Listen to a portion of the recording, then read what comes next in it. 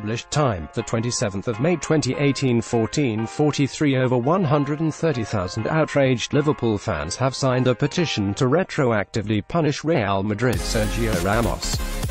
After he was involved in a tussle with Mo Salah left the Liverpool forward with a suspected dislocated shoulder.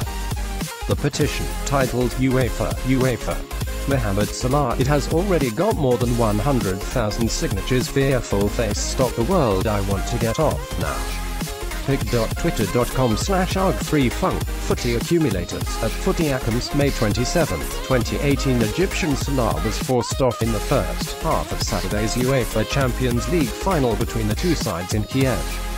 He suffered a shoulder injury as he and Madridi captain Ramos stumbled to the ground while challenging for the ball. Many observers felt Ramos had deliberately held on to Salah's arm as he fell to intentionally injure the striker. Liverpool went on to lose the match 3-1 without the stricken talisman, who had netted 44 times last season for the Reds.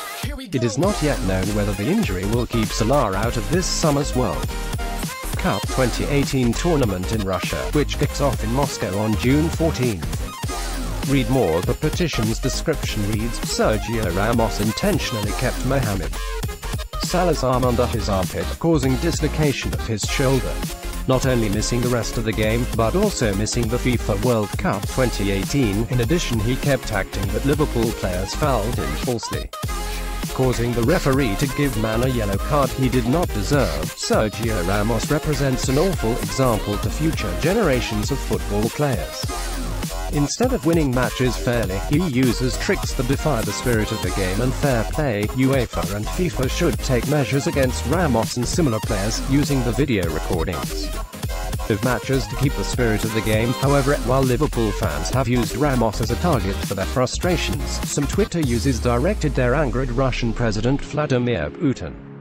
They claimed Putin had mysteriously managed to arrange the injury so Russia would not have to face Salah in the World Cup.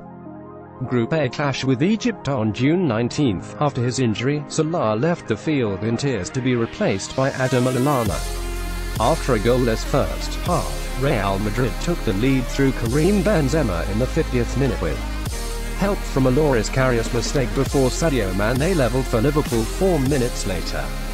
Super sub Gareth Bale then produced a moment of brilliance for Madrid, with an overhead kick that will surely go down as one of the greatest Champions League final goals with just over an hour played. Redmore stunning Gareth Bale double wins Real unprecedented third UCL title in a row Bale doubled his tally in the 82nd minute when his long-range shot forced another howler from the German keeper who palmed it into his own net to hand Real a third successive Champions League title.